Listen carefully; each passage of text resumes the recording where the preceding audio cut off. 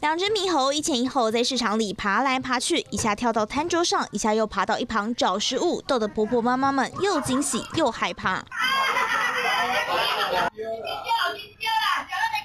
看到上交猕猴拿了想爬上杆子好好享用，没想到摔了一大跤。但两只猕猴身手矫健，没一会儿一左一右霸占市场走道，开始吃香蕉。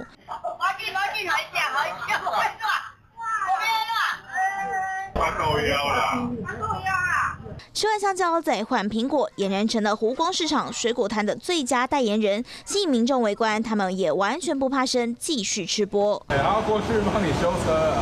不断摇晃轮胎，玩得不亦乐乎。距离约四公里外的社区，也有民众目击两只猕猴在社区爬爬走。跳去我叫啦，啊啊跳个诶，我迄车链了无？电咧跳我边遐啊，搭走三三十八巷。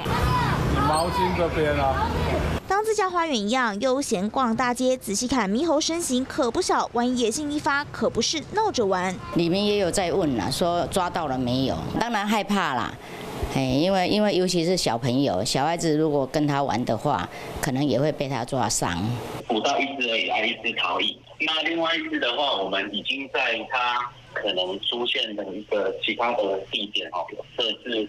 又。连续好几天，内湖区一带都有民众看到猕猴身影，动保处研判应该是同一批猕猴，已经加强放置又捕笼，也提醒民众不要随意干扰或喂食，避免受到攻击。华视新闻李宏杰教授台北报道。